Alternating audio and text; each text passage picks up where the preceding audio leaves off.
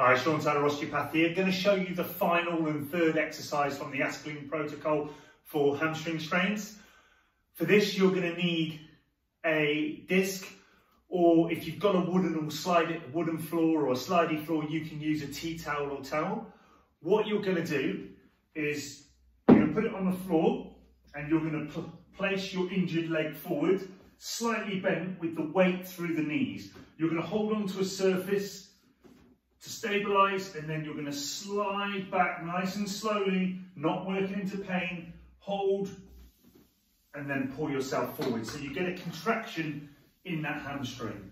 I go back and then I drive forwards on the way up. Slowly back, increasing the range, like so. It's important to keep these movements controlled, especially in the early stages of rehab. So don't go too far, don't push it, work with what strength you have and within that pain level.